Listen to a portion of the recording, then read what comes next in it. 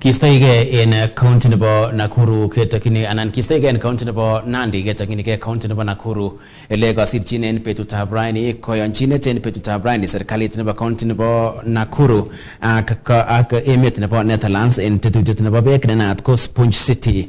Kong'ololi en tionotok eh, en eh, Richard Tonui ko en ministry nebo beek en emoni Eric Munga. Komwa gavana nebo Nakuru Susan Kihiga kole wendi konyorchingei kelchin nebo barak nganaset nebo Nakuru en tetutiet noton nebo beek en kasarta nebo ropta asikeboisien en betusiek chebo kemeut. Kates komwa ine kole koyonchinet noton kosirchin ak kiyokindet noton nebo emonotok en emoni Hank John Baka kokanaptoi mising tetutikwak ak katerteret nebo chersosiek choton chebo lolong'yet en nganasanoton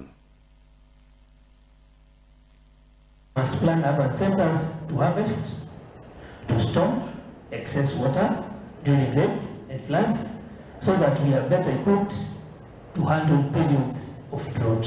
A city designed to naturally absorb, store, and filter water, effectively recharging our ground aquifers.